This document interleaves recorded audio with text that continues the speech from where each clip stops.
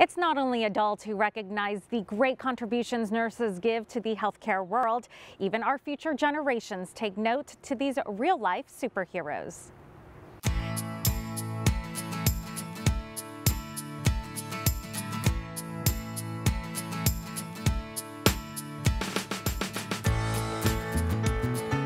Thank you, nurses.